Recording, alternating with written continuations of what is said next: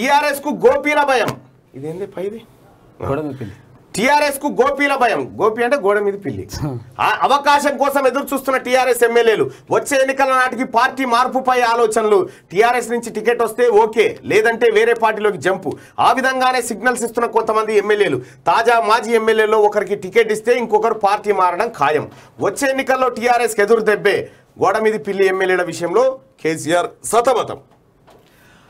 అమరుల త్యాగాలతో ఏర్పడ్డ తెలంగాణలో టీఆర్ఎస్ అధికారంలోకి వచ్చి కేసీఆర్ ముఖ్యమంత్రి అయ్యిండు.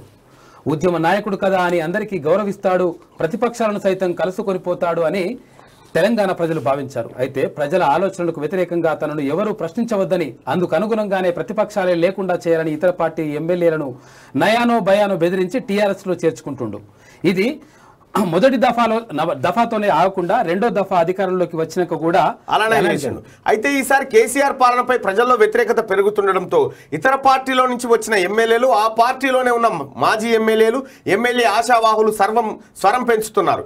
ఈసారి ఎట్టి పరిస్థితుల్లో టికెట్ తమకే ఇవ్వాలని అధిష్టానంపై ఒత్తిడి తెస్తున్నారు. ఒకవేళ తమకు టికెట్ దక్కకపోతే వేరే పార్టీలో టికెట్ వచ్చేలా ఇప్పటి నుంచే పాదు పావులు కదుపుతా ఉన్నారు.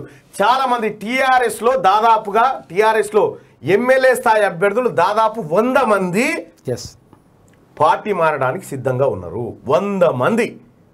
టీఆర్ఎస్ను ఇప్పుడు కేసీఆర్ దింపిన ఇస్తారాకి చేసి వస్తారు చూడు. ఏ టీఆర్ఎస్తోనైతే ఎవరినైతే వీళ్ళు ఒకప్పుడు వేరే పార్టీని ముంచి వచ్చిన వాళ్ళే నీ దాన్ని నింపిరుగా. ఇప్పుడు నిన్ను కూడా ముంచిపోగల శక్తివంతులు వీళ్ళు.